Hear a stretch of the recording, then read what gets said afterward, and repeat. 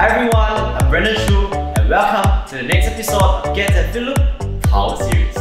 With the last episode, power is a combination of both strength and speed. Today, I'll be introducing you to the ball slam, which is a fundamental movement to building power. Firstly, your setup is crucial to a powerful ball slam. To start off with, feet should be shoulder width apart, hands to firmly place beside the ball and pick it up.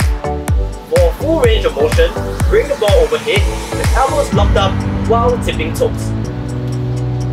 With that, slam the ball down as hard and as fast as possible while maintaining balance with core stability. The ending position should be in a slight squat stance as the ball hits the floor. And with that, give the ball slam a try and see you in the next episode of Get That FIT Look series.